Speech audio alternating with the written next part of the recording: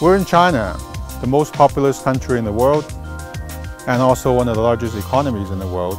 In such a large economy with so many people, we need a lot of energy to power this country.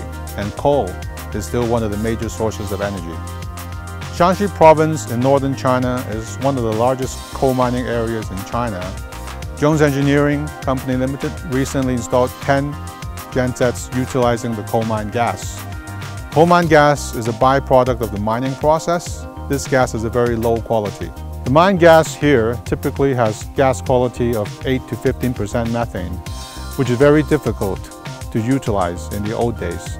In those days, people just directly flare the gas and that was very bad for emissions. About 10 years ago, people in China started to utilize this gas, putting into genset, thereby producing power and also to reduce emissions. This site has 10 gensets of a 12V119 configuration, each producing 500 kilowatts, totaling 5 megawatts running in parallel prime power.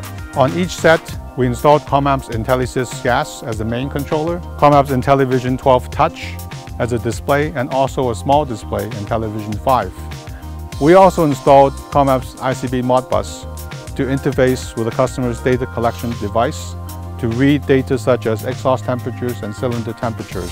Also, the system can communicate with existing ignition systems for more data collection and also for monitoring and protection. ComAp's InteliSys gas has built-in air-fuel ratio controls that is suitable for natural gas and biogas.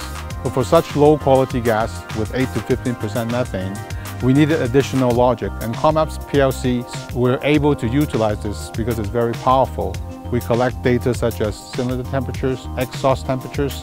With it, we are able to much improve the air-fuel ratio controls to run the system in full automatic. The InteliSys gas has extensive history and logging features. It has trending maps where operators can read the engine running data and also the history logs. They can use the pre-mortem history to decipher any problems with the engine. And although the systems can run fully automatic air-fuel ratio control very well, there are times when the operators would like to override this and run things manually.